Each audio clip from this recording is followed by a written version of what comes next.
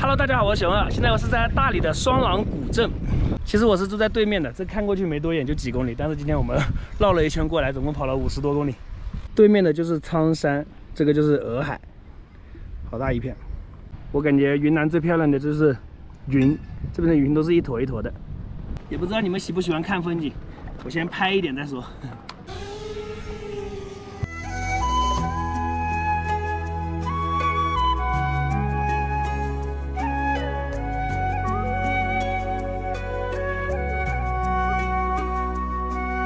象征性的拍一点风景，我们就可以去找吃的了。大理的古镇特别多，这里已经是我们来的第三个古镇了。这个是鲜花饼，大理有很多鲜花饼，还有鲜花做的肥皂。这个应该是玫瑰花瓣吧？老板，这饼怎么卖？嗯，十块钱三个。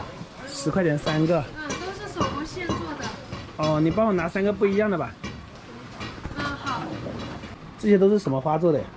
玫瑰花，然后还有茉莉花，这个是抹茶玫瑰、紫薯玫瑰。哦，都是玫瑰的。嗯。这个是花酿的酒啊。对。三十五一瓶。三十五。玫瑰酿。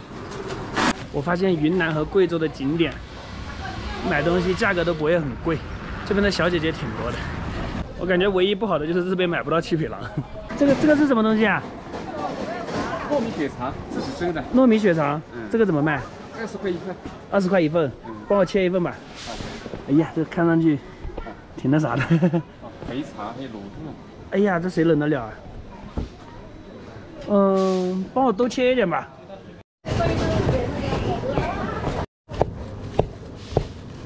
这个就是糯米血肠，我第一次吃。这是卤的乱七八糟的，我最喜欢吃这个。这边是白族自治州，可以看到他们的房子。上面都画了很多画，都挺漂亮的。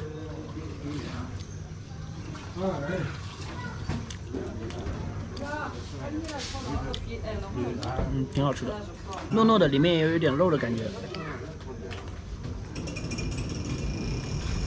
我觉得这个可以当主食吃，确实挺好吃的。我尝一下这个花酒，喝花酒。老板说这个是八度的。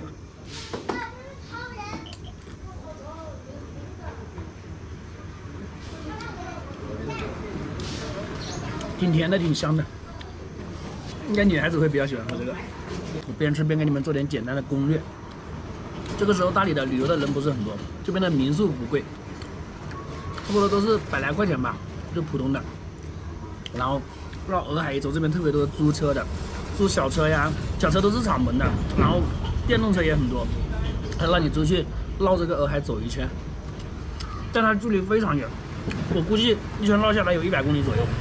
然后那个路的路况其实不是很好，大车特别多，所以电动车的话不是很建议在这边绕一圈。风景是确实很漂亮，没得说。猪舌头，我特别喜欢吃猪舌头，口感很好。那对我还有花饼，玫瑰花做的饼，鲜花饼也是大理这边的一个特色。哎呦！它不只是鲜花味的，它里面确实有花瓣。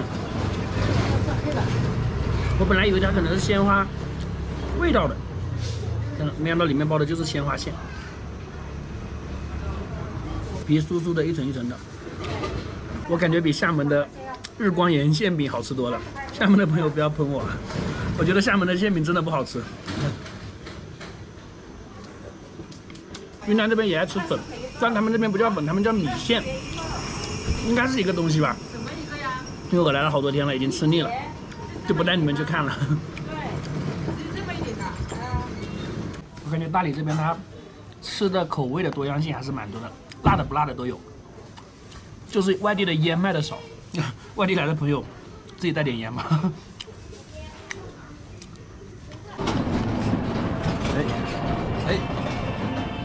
这。谁啊？你哪里钻出来的？给你一个鲜花饼吃。这鲜花饼挺好吃的。刚做的吗？它里面是真的鲜花哦。你看。嗯真的。你跑去泡妞了是不是？没有没有。这这边没有土鸡，你能跑哪去？好了，兄弟们，今天视频到这里了。超哥非要去找土鸡，那我们去找土鸡了。我们下期见，拜拜。